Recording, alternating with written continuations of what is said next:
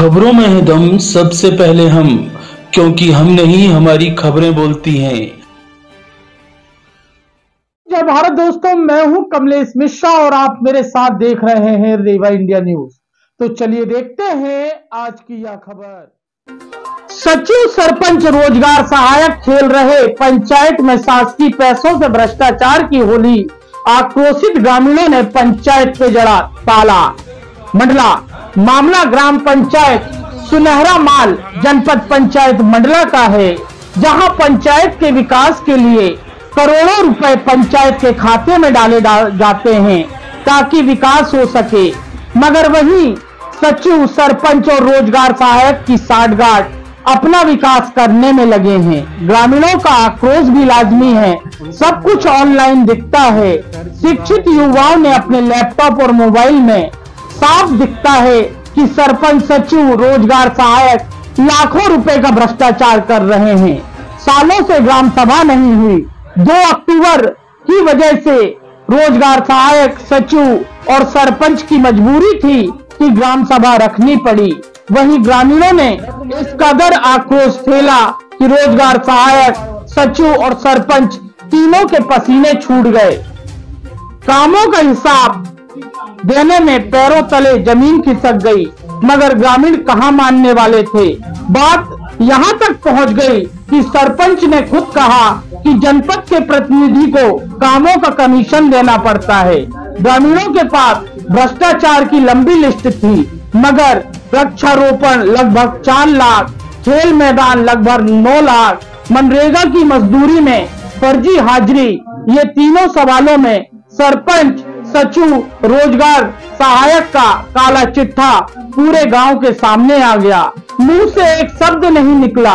इतना ही नहीं, लाखों का भ्रष्टाचार करे हैं और मुँह से एक शब्द नहीं निकल रहा है।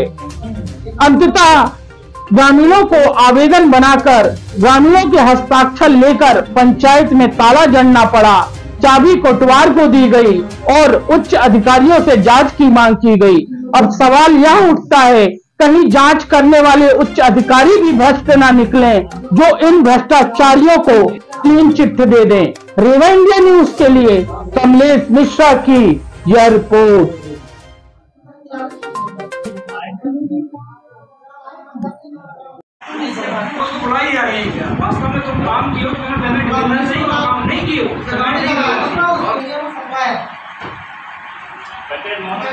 है। है बिल्डिंग मटेरियल सप्लाई इनका कौन सा काम था? मशीन और हमारी सबकी ट्रैक्टर चले गए हैं सब बिल उसी में।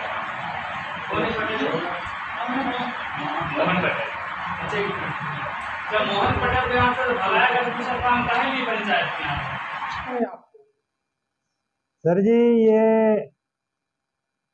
जो पहली एजेंडा में भी जो बात हुआ इसके तहत भी यहाँ जो पंचायत डिपार्ट बता रही है जिसमें पब्लिक सहमत नहीं है। क्योंकि पब्लिक के अनुसार नहीं हो रहा है। नौ लाख तकरीबन का जो है ग्राउंड आया। आपको जी, जी। नौ लाख का काम हुआ है वहाँ पे? नहीं लगता। नहीं लगता कि नौ लाख का काम हुआ मुर्रम के जो बिल लगे हैं और जो वेंडर के बिल लगे हैं आपको लगता है कि इतना वहाँ पे मुर्रम लग गई होगी? अब मुर्मा तो अब गिराए हैं कि वहीं के वहीं, लेकिन बिल के हिसाब से काम ही नहीं हुआ है। जो पैसे हैं, उसको सदुपयोग में आना चाहिए। तो वो नहीं हो रही है। इसमें अपन भी कोई सहमत नहीं। आज ग्राम सभा की कई विषयों को लेकर चर्चा की गई लेकिन आप उसका जो है संतुष्ट जवाब नहीं दे पाए जी सर। और जनता को संतुष्ट भी नहीं कर पाए। चाहे वो ग्राउंड का मामला हो चाहे वृक्षारोपण का मामला हो चाहे मनरेगा मजदूरी का मामला हो कहीं ना कहीं जो है शासकीय पैसों का दुरुपयोग इसमें नज़र आ रहा है। क्या कहना है आप सर ठीक है। ये कहना है बाकी जो हिसाब की बात रहा तो हम हिसाब दे रहे हैं लोगों को और बता रहे हैं कि नौ लाख नौ लाख छियालीस हज़ार का खेल मैदान समतलीकरण का स्वीकृति हुआ था। उसमें से अभी पाँच लाख उन्यासी हज़ार पाँच लाख उन्यासी हज़ार खत्म हुए हैं और तीन लाख सड़सठ हज़ार रुपये अभी शेष बचे बाकी हिसाब देने का तरीका तो ये जो है, जो खर्चा हुआ, जो पैसा स्वीकृत हुआ है, उसी के आधार पर हम बात करें। पब्लिक को संतुष्ट नहीं कर पा रहे हैं सर पब्लिक को संतुष्ट करने की बात है। सर तो पब्लिक को संतुष्ट कैसे करें? किस वेस में हम लोग हिसाब बताएँ? हिसाब तो हमारी यही है। और इसके अलावा हम क्या बोल सकते हैं? और दूसरी बात रहा कि जो काम की बात रहा तो काम सर क्या है? छोटी मोटी कुछ काम होती हैं और ये सरकार भी वाकिफ है, ऐसा नहीं है कि जैसा नाली आली साफ़ करवाना है तो लेबरों को इधर से उधर करना पड़ता और ये हुआ है। इसमें हम लोग सहमत कोई दिक्कत नहीं। जी क्या नाम है आपका? जी संजीव कुमार उनके संजू जी। ग्राम पंचायत सुनहरा माल में रोज़गार सहायक के पद पर पदस्थ हूँ।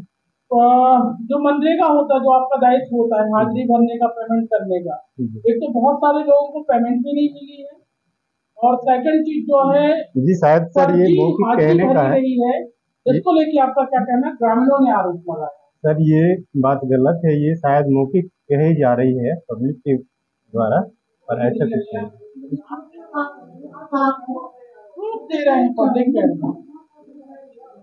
हैं। जी मैं ये कह रहा हूँ अगर कुछ लोगों का पेमेंट नहीं भी आया होगा वो तकनीकी कारण से होगा चाहे डीबीटी के कारण हो या किसी के कारण हो सकती है। है सुनहरा माल पे। आपकी कार्यशैली से जो है ग्रामीण खुश नहीं है हिसाब किताब आप दे नहीं पा रहे हैं। और फर्जी बिल का जो है आरोप लगा है आपके ऊपर, चाहे ग्राउंड की बात हो, चाहे वृक्षारोपण की बात हो, चाहे मनरेगा, वो मुर्रम की बात हो, क्या कहना चाहेंगे? क्योंकि अब देखो लेबर जो है जनता को कोई संतुष्ट नहीं कर रहा। मैं हूँ, चाहे मेरे उच्च कार्यालय हैं, जो भी है। पब्लिक के तहत हम काम करे हैं, जिस जैसा वह काम करे हैं, हम अपना हिसाब बता रहे हैं। अब वो उससे सहमत नहीं हमारे जो कागजों में है जो हमने व्यय किया है उसका हमने पूरा ब्यौरा दे रहा है। अब वो संतुष्ट नहीं है अब हम किस तरीके से समझाएँगे? पब्लिक तो यहाँ तक कह रही है कि आप आटे में नमक डालें लेकिन आप नमक में आटा डाल रहे हैं। गलत है। भारत दोस्तों। मैं हूँ कमलेश मिश्रा फिर एक बार नई खबर के साथ आपके सामने हाजिर हुआ हूँ। फ़िलहाल मैं हूँ ग्राम पंचायत सुनहरा पे ग्राम सभा का यहाँ आयोजन किया गया था ग्राम सभा में जो है ग्रामीणों का गुस्सा देखने को मिला और काफ़ी समय बाद यह ग्राम सभा हुई थी जिसमें काफ़ी ऐसे मुद्दे थे जिनका जवाब देने पर सचिव रोज़गार सहायक सरपंच सभी के पसीने छूट गए। क्या था आज ग्राम सभा में जमकर हंगामा हुआ? ग्रामीणों ने क्वेश्चन किया। हिसाब नहीं दिए। क्या किन किन विषयों में बात की गई और संतुष्ट नहीं हुए। हम लोग आज ग्राम सभा में बैठे। ग्राम सभा में मनरेगा का बजट के बारे में पूछे उसके आय व्यय के बारे में पूछे और खेल मैदान के बारे में पूछे। उनका भी कोई हिसाब किताब नहीं दे पाए ग्राम के पंचायत डिपार्ट। तो देखिए ये शासकीय पैसा होता है शासन की तरफ़ से आता है और सरपंच सचिव और रोज़गार सहायक इसके जिम्मेदार होते हैं और एक एक पाई का हिसाब देना पड़ता है, लेकिन यहाँ का आलम यह है कि सरपंच सचिव रोज़गार सहायक साइलेंट मोड पे ग्रामीणों की बातों का जवाब नहीं दे पाए। यहाँ सरकारी पैसों का बंदर बांट किया गया, इसलिए जानकारी अवगत नहीं कराया गया। तो देखिए यहाँ भ्रष्टाचार के भी आरोप लग रहे हैं ग्रामीणों की तरफ़ से। फ़िलहाल जो है, अनशन में बैठ गए हैं ये यहाँ पे पंचायत पे ताला जड़ने का भी कुछ ऐसा आप लोगों का है? श्रीमान जी किए गए निर्माण कार्यों में त्रुटियाँ राशि वहन करना कानूनन अपराध है इसलिए पंचायत में ताला लगाने की घोषणा की गई है। तो ग्रामीण कह रहे हैं कि भाई पंचायत पे ताला लगा देंगे जो महात्मा गांधी जी उनका भी सपना था पंचायती राज। लोकसभा न राज्यसभा सबसे बड़ी ग्राम सभा, लेकिन ग्राम सभा की जो यहाँ दुर्दशा है, वो देखते बनती है। किस तरीके से जो है शासकीय राशियों का जो है बंदरबाट किया जा रहा है, कैसी अनंताएँ हैं पंचायत में? यहाँ पंचायत में उनको लेखा जोखा मांगो तो वो सही हिसाब दे नहीं रहे क्योंकि पता नहीं वो एक सचिव, रोज़गार सहायक को, रोज़गार सहायक सचिव को सचिव सरपंच को इस टाइप से देखते हैं यही तो अनियमितता देखा गया। क्या फैसला किया आप लोगों ने आवेदन बनाया? सभी ग्राम सभा मिलके और यहाँ फैसला किया गया कि इनका जाँच किया जाए। पंचायत में कुछ ताला जड़ने का? ताला जड़ने का भी फैसला किया गया। और ग्राम पंचायत सुनहरा में जो है भूतपूर्व जो है सरपंच भी हमारे साथ है। किस तरीके से दिक्कत हो रही है आपको जो आपने विकास कार्य किया? मेरा नाम भगल सिंह सिरसा में मेरी पत्नी भूतपूर्व सरपंच थी। उसके कार्यकाल में कूप निर्माण हुआ है। कंक्रीट रोड धनीराम के घर से हुआ है जिनके भुगतान करने के लिए सचिव आनाकानी कर रहा है भुगतान नहीं कर रहा है और प्रभार देते समय जितने कार, कार्यों के भुगतान नहीं हुआ है उनका प्रभार नहीं दिया है और न सीसी जारी करवा रहा है। कहते कहते मैं बहुत थक गया हूँ और न सीसी जारी करवा रहा है इसीलिए मैं दो चार बार दस बार तक मैं ग्राम जनपद पंचायत गया सीओ के पास सीओ के पास कोई ध्यान नहीं दे रहे हैं आवेदन भी लगाया हूँ सीसी भी जारी नहीं हुआ है। सीसी के लिए पैसे मांग रहा है सचिव और सीसी भर के भी कंप्लीट नहीं दे रहा है नहीं तो मैं सीसी जारी करवा लेता। कितना पैसा मांग रहा है सीसी के लिए? पैसा तो नहीं इतना पैसा दो कह के नहीं बताया है परंतु पैसा चाहिए पैसा चाहिए क्या मैं कहाँ से पैसा दूँगा? रिश्वत मांग रहा हाँ।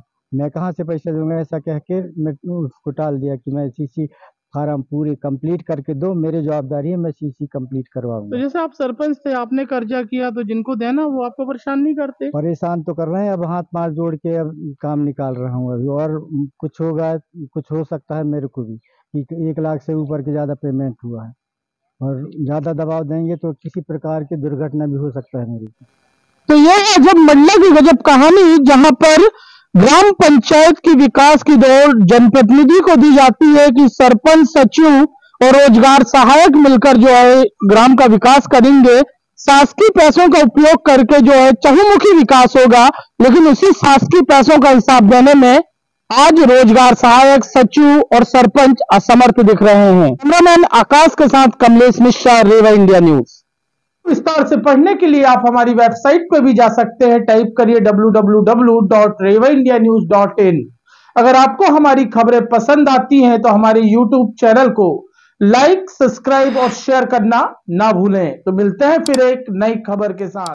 तब तक के लिए जय